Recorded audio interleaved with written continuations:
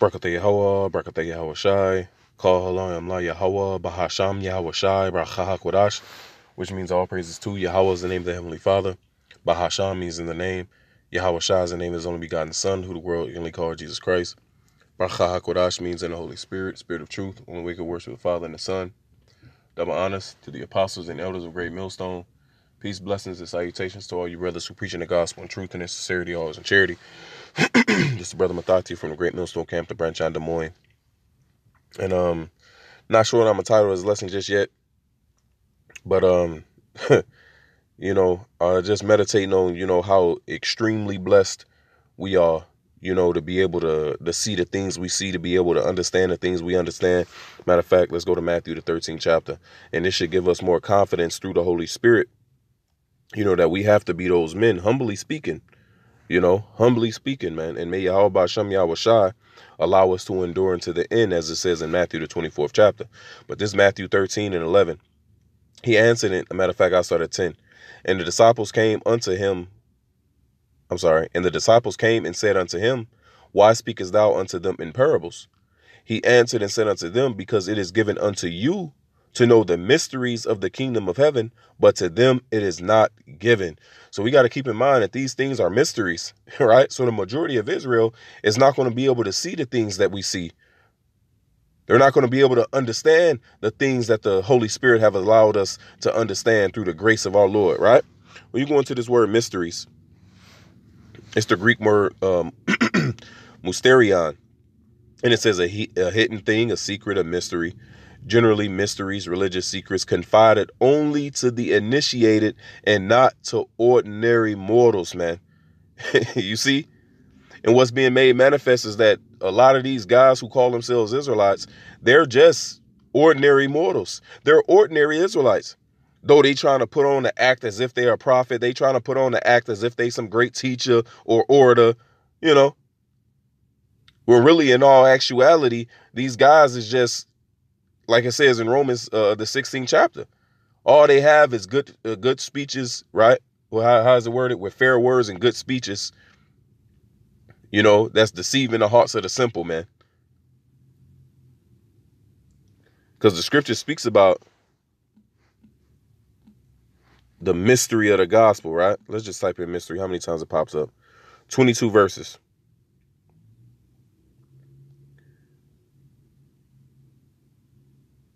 It's a good one. Romans 16, 25. now to him that is of power to establish you according to my gospel in the preaching of Yahweh Shahamashiach, according to the revelation of the mystery which was kept secret since the world began. To keep silence, hope to be kept in silence, be concealed. that was kept secret, man. That the Lord is now revealing unto his elect through the Holy Spirit, right? Through the sacrifice that our Lord Yahweh Shai made over 2,000 years ago. This First Corinthians 2 and 7. But we speak the wisdom of the Most High in a mystery, even the hidden wisdom which the Most High ordained before the world unto our glory. So only certain individuals would be able to understand this. And that's exactly what the Lord told Esdras in, in, in multiple occasions, right? I believe the first one was uh the eighth chapter. His second Esdras eight and 62. It says, matter of fact, I'll start at 60. It says, But they which be created have defiled the name of him that made them, and were unthankful unto him which prepared life for them. And therefore is my judgment now at hand. So we're gonna see the judgment of Yahweh Basham Yahweh Shah ramp up more and more in these coming days, man. We already see that uh, uh earthquake over there, right? Uh, uh in, in, in Turkey, bordering Syria, you know, and it said over, over 27 uh, hundred people have been reported dead in the in, in the death toll is only going is only rising, man. And we're going to see the Lord bring forth judgment on these false prophets, these false teachers, man. Because the scriptures tell us it's another thing that we should be extremely thankful for him, you know this is um man this is a good one this is not what i was looking for but i i grab it Sirach 3 and 26, a stubborn heart shall fare evil at the last, and he that loveth danger shall perish therein. So these guys who are stubborn, and what did uh, uh, uh Samuel tell us in the book of First Samuel, the 15th chapter? He told that to Saul, that rebellion is as the sin of witchcraft, and stubbornness is as the sin of idolatry, man. So these guys are going to be found out to be idolaters. They're not serving in uh, uh, uh, uh Yahweh, Yahweh Shai in truth and in sincerity, and that's going to be manifested, man. Because it's already known unto the, uh, you know, uh, uh unto the true teachers right? Because he can clearly see that these guys ain't speaking as the oracles of the Heavenly Father, so therefore they ain't sent by the Lord. But it's going to be made manifest to the rest of the, uh, uh, uh you know, uh, uh, of Israel. Even the people within their own congregation, man, it's going to be manifested that these guys are fake, phony, and frauds. Verse 27 An obstinate heart shall be laden with sorrows, and the wicked man shall heap sin upon sin. And that's exactly what we see in these guys do by going uh, uh, uh, against the grain, man. By going against what what what what what, what um the scriptures uh tell us. This is the one I was looking for. Sirach 4 and 25. And no wise speak against the truth. And that's what these guys are doing. They're speaking against the truth, man. Right? It says, but be abashed of the error of thy ignorance. So these guys are supposed to be ashamed of their error. right? They are not knowing the scripture, so that was supposed to humble them guys and be like, damn, we really don't know what we think we know, man. But instead, what are they doing? They're becoming more proud. They're rebelling more and more, and they're speaking against the truth, as it is written in the book of Acts. Um, what is that? Is that the 12th chapter?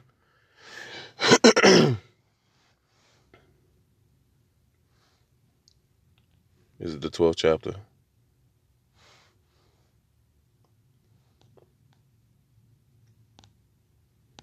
because it speaks about contradicting.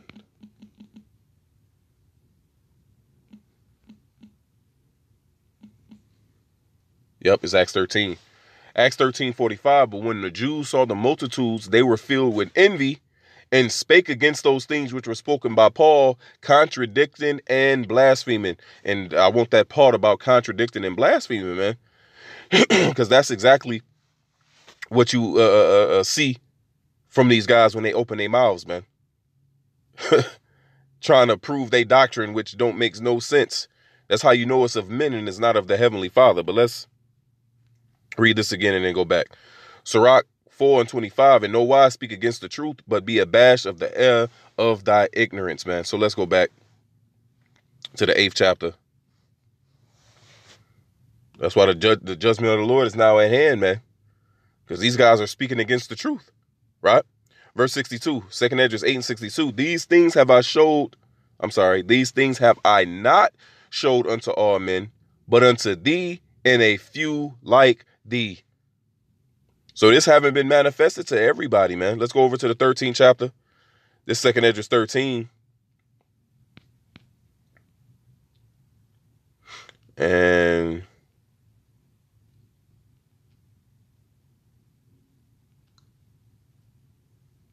verse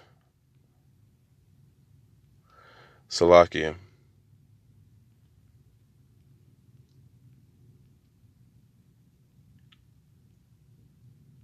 Or is it the 14th chapter? I know where it is in my book. Let me just type it in.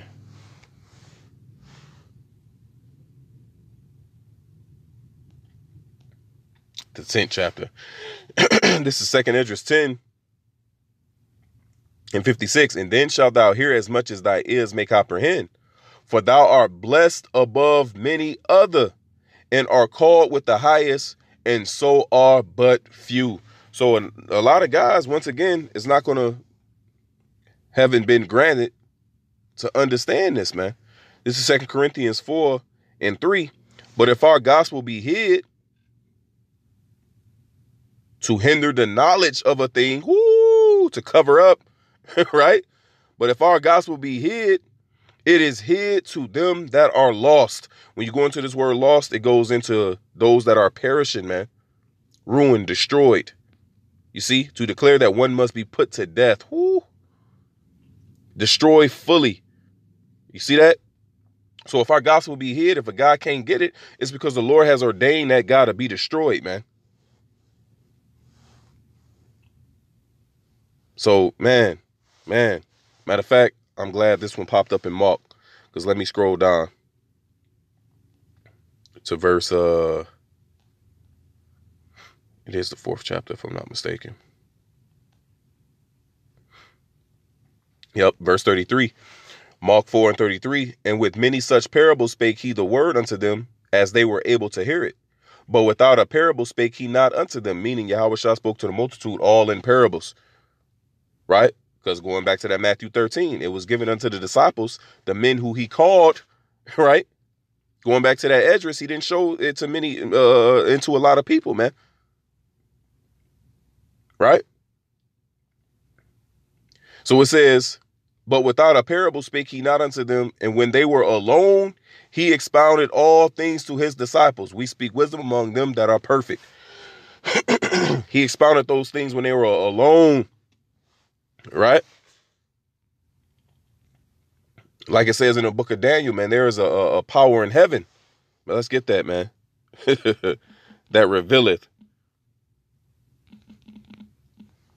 Or do it say God in heaven?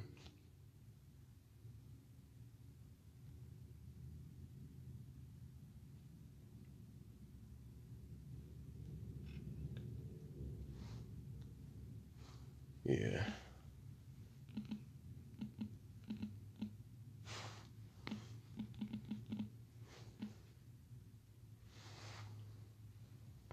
Daniel 2 and 19, it says, Then was the secret revealed unto Daniel in the night vision. Then Daniel blessed the power of heaven. and we should be blessing Yahweh Shem Yahweh that we're able to see, you know, these visions, man that we able to understand the things that our forefathers have seen. It's verse 28. It says, matter of fact, let me see, 27. It says, Daniel answered in the presence of the king and said, The secret which the king have demanded cannot the wise men, the astrologers, the magicians, the soothsayers show unto the king. But there is a God in heaven that revealeth secrets and maketh known to the king Nebuchadnezzar what shall be in the latter days. Thy dream and the visions of thy head upon thy bed are these. And um there's another, I want to say this is the same account. And Daniel made us, man, the Wadi Abashim verse 30. Matter of fact, I keep reading. Verse 29 As for thee, O king, thy thoughts came into thy mind upon thy bed, what should come to pass hereafter. And he that revealeth secrets maketh known to thee what shall come to pass. Right? And these things were written for our learning. Verse 30. But as for me, this secret is not revealed to me for any wisdom that I have more than any living, but for their sake that shall make known the interpretations to the king, and that thou may, mightest know the thoughts of thy heart. So Daniel said it wasn't no, you know, extra wisdom or because I'm extra smart that I figured this out, but that the power in heaven, Yahweh Bashem Yahweh hath given me such knowledge and has revealed these things unto me. And it's the same thing as today, man. Starting with Apostle Tahal on down, Yahweh Shem Yahweh have opened our hearts in order to be able to, to see these things, speak these things, and warn our people of what's to come. Right? So let's go back.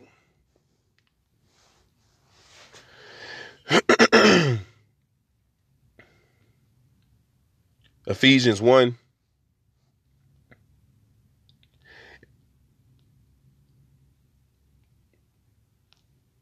In 8, it says, Wherein he hath abounded toward us in all wisdom and prudence, having made known unto us the mystery of his will, according to his good pleasure, which he hath purposed in himself, man. you see, so it's the Most High's will, you know, to reveal his secrets unto his servants, the prophets, man. And it's going to be made manifest, right? Then shall it be known it was a prophet amongst them. Starting with our apostles on down. This is book of Amos 3 and 7. Surely Yahweh Shem Yahweh Shah will do nothing, but he revealeth his secret unto his servants, the prophets, man. When you go into that word secret, it's the Hebrew word sawad, sawada, sawad, which is counsel. Secret counsel. Company of persons. Intimacy, consultation, a secret. You see? So these things ain't made manifest to everybody, man. So when we speak these things, man, a lot of people ain't gonna get it. you know? Because the Holy Spirit is speaking from heaven, unto us, man. And keep in mind when when when when when when when the voice of angels was uh, heard at different times, right? like for instance, the time of our Lord Yahweh Shai. This is St. John 12 and 28. This is Yahweh Shai speaking. He says, Father, glorify thy name. Then came there a voice from heaven saying, I have both glorified it and will glorify it again. The people, therefore, that stood by and heard it said that it thundered. Others said an angel spake to him. So others heard the voice, others didn't. so it's going it's the same thing that's playing out in today's time. We're speaking these things, but these guys are hearing thundering, man. It's a mystery unto them. They can't get it. While others, it's it's made plain. You know? It's clear as day. Right? Now let's go back. And you know, I ain't gonna make this long and drawn. I'm gonna get ready to close this out. Um Ephesians 3 and 3, how that by revelation he made known unto me the mystery as I wrote afore in few words. Same thing as the Lord has done by uh, unto us.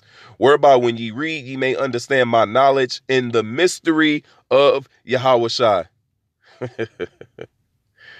Man. And what once again, this Greek word for mystery is mysterion, which is religious secrets confided only to the initiated and not to ordinary mortals, man. Colossians 1 and 26, verse 25. Wherefore I am made a minister according to the dispensation of the heavenly Father, which is given to me for you to fulfill the word of the Most High, even the mystery which hath been hid from ages and from generations, but now is made manifest to his saints those who are being sanctified through the word as it is written in St. John 17 17.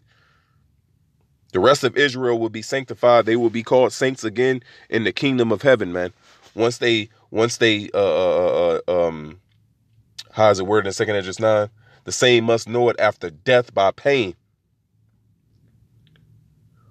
You know? So we're blessed above all men, man. You know, matter of fact, I think I'm a um I'm a title it for thou art blessed above many other. You know, us who are able to understand these things, man, and may Yahweh Bashem Yahweh once again allow us to continue in it. So, Lord, we all hope this was edifying throughout Yahweh, Bahasham, Yahweh Shai, for giving me the spirit to do this lesson. I'm going to give all praises, honor, glory to Yahweh, Bahasham, Yahweh Shai, Bachaha Kodash. Double honors to the apostles and elders of Great Millstone. Peace, blessings, and salutations to all you brothers who preaching the gospel in truth and in sincerity, always in charity you know, and you know, the spirit spirit's on me to do this lesson just to keep in mind everybody ain't gonna be ain't gonna get it. So it ain't no need for us to get, you know, mad or riled up or frustrated. You know, it's the Heavenly Father that got an actual angel that's blinding these men from actually receiving what we're saying, man. And that's written in Isaiah, the sixth chapter, which if, if I to continue to read in Matthew 13, Yahweh Shah quoted that same exact, you know, precept. You know, so these guys gonna slander us, man. They gonna talk shit keep in mind we in good company with that as well. It's prophesied that they would speak evil of the truth, that they would speak evil of Yahweh Shah's men. You know? So once again, we are blessed above many other. Shalom.